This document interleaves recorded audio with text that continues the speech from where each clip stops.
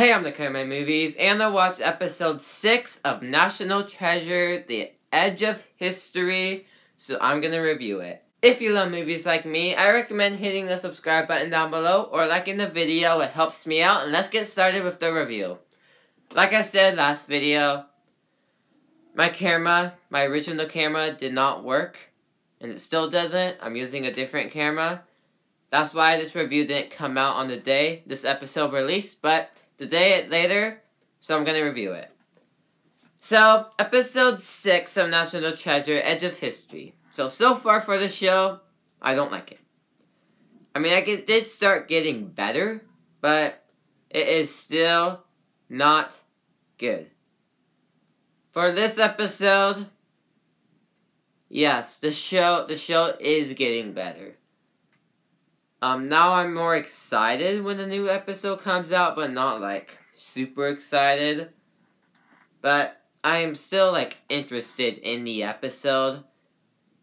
Um, it's not like Willow where I like don't like the episodes. The the episodes are starting to get better, better.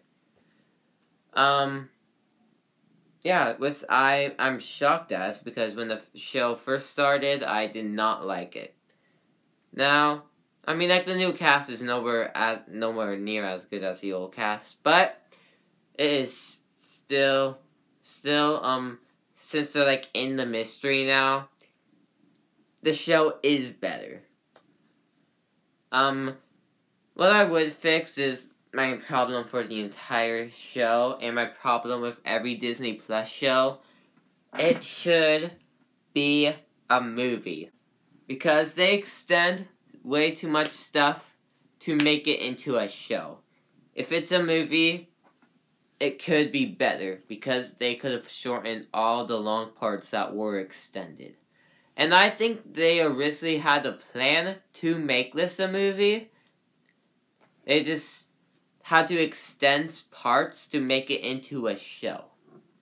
Because they decided to change it into a show because they don't have a lot of shows on their streaming platform. Well, that'll be my guess because that that is what it feels like. Yeah, so so far this episode, I I enjoyed it. It's just that's all I need to say. That that's seriously all. I just enjoyed it. The stakes are higher for the characters, so I'm excited to see what episode seven brings.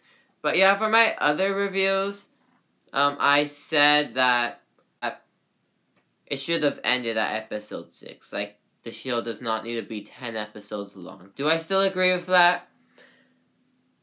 Maybe. Maybe. I'll probably have to wait to see for next episode, but maybe I still agree on that. There's like only three episodes left, too.